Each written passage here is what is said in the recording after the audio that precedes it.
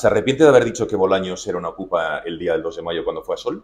Ah, es una descripción bastante gráfica, ¿no? Digo, es que es una descripción bastante gráfica, quiero decir, yo creo que también en el debate político no pasa nada, no pasa nada por tratar de hacer... Por describir. eh, por describir, que es lo que yo hice diciendo que Bolaños era un ocupa. Después de lo que vemos y de lo que escuchamos en el debate político, donde ayer Bolaños me llamó mafia, Rita Maestre dijo que soy un, un alcalde que odia los árboles, odia los árboles, hay que ser infantil para decir que uno odia los árboles, hombre, decir simplemente que porque uno se cuela en el acto de la Comunidad de Madrid, donde se le acoge, pero que ya trata de subir a la tribuna a toda costa, a mí me parece que también la izquierda se lo tiene que hacer mirar. Pero es un ministro del Reino de España.